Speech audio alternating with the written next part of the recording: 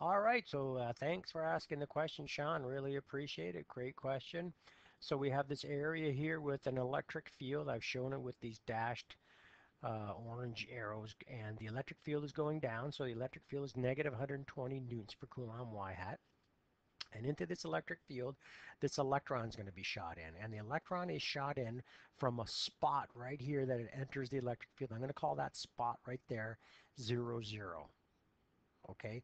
Zero meters x hat, zero meters y hat. That's where it enters the electric field. And when it enters the electric field right there, it has a initial y velocity that's zero and an initial x velocity that's 3.0 times 10 to the 6 meters per second, second x hat. This x velocity will not change. It will be the x velocity for the electron during the entire motion simply because there are no forces acting in the x direction. All forces are in the y direction being caused by the electric field. So I need to find the force on the electron. And the force on the electron is caused by electricity. So the force on the electron will be force electric, which is equal to the charge it has times the electric field. So I plug in the charge on the electron, I charge in the electric field, and I get a force of positive 1.92 times 10 to the 17 newtons y hat. The electron is being pushed upwards, which makes sense because it would be repelled from the bottom negative plate and attracted by the top positive plate. So that's perfect. As I mentioned a few moments ago, there is no acceleration in the x direction. I told you the x velocity does not change. The y acceleration component is f net y over m, but the only force acting on it is the electric force. So net force y direction becomes the electric force, and we divide by the mass of the electron. When we do that, we put in the electric force that I just calculated. See, I put that in there. Put in the mass of the electron. I get an acceleration in the y direction of positive 2.1 times 10 to the 13 meters per second y hat.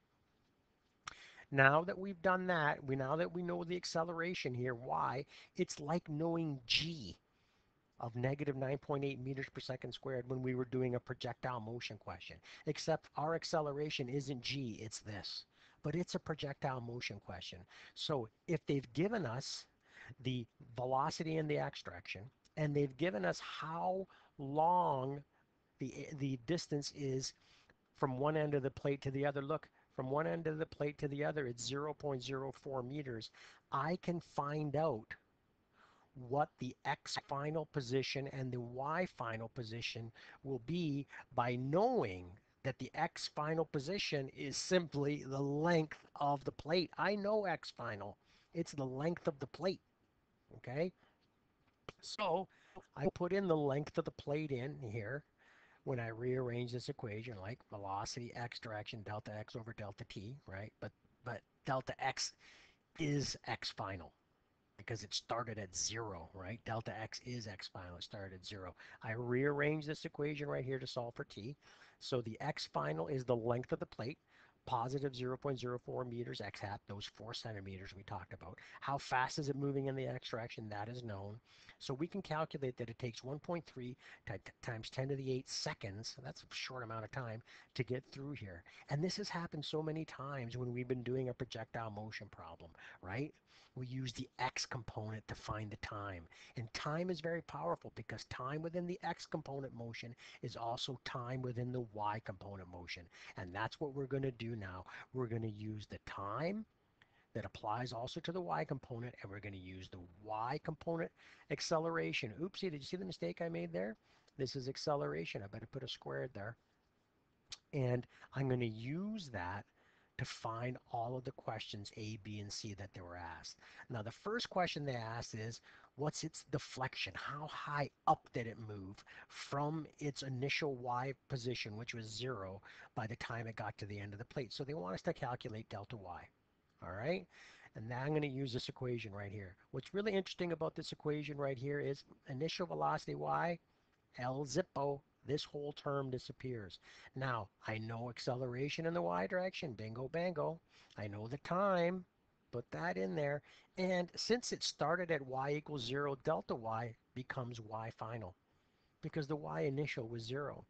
So here's my simplified equation. I plug in all the numbers and bingo bango, that's how far it's moved from a y position of 0 after that amount of time. Just a minuscule amount, but for an electron, it's a long distance. Next, B. What is the final velocity y? Well, I'm going to use this equation right here, and I'm remembering that initial velocity y component is zero. Boom. So all I need to do is multiply the acceleration in the y direction by how much time it's moving for, multiply those two together, plug in, bingo, bango, there's my answer. For, ooh, I'm getting sloppy today on this Saturday uh, evening. There, there's my y velocity.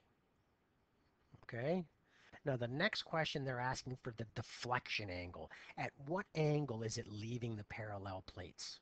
At what angle is it leaving the electric field? Well, I can figure that out by drawing the triangle of the final velocity. Here's the final velocity, here's its x component, here's its y component, and theta is that angle of deflection.